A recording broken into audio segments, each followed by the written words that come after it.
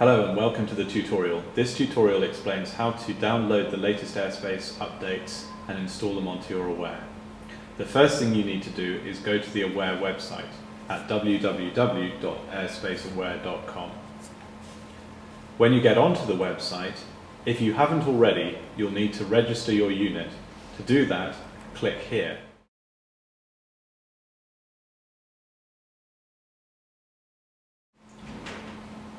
Once you have a username and password, you can use it to log into the website here.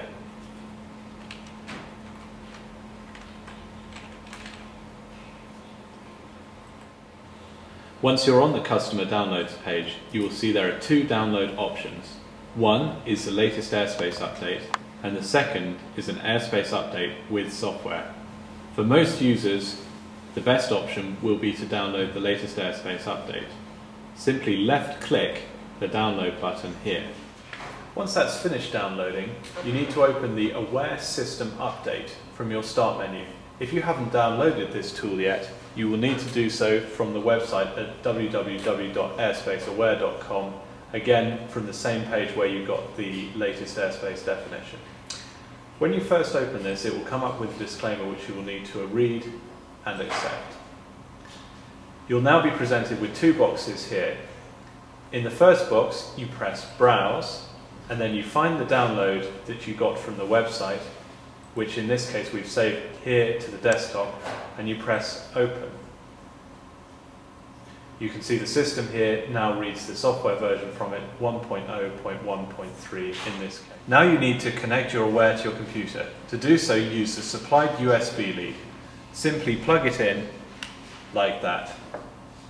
Once the Aware is connected, you should see here in your tray a little green icon like this showing that the device is connected. You may also get a window up here asking if you wish to set up a partnership. You don't need to do that, so you can just press cancel on it like that. So now your unit is paired with your computer. If you don't see that green rotating icon, then you probably have a problem with your connection. And we would suggest in the first instance trying to connect your device to a different USB port. Now press the refresh button and then you should see from your drop-down list ActiveSync device. Click on that here and it will update the information. What you have here is an updated software version and the current software version. These may well match as you, very often your software version will be the same even if the airspace database is out of date. When you're ready, now press the update button here. It's asking whether we really wish to update and the answer is yes. The update is now in progress. This may take up to 15 minutes depending on exactly what you are updating.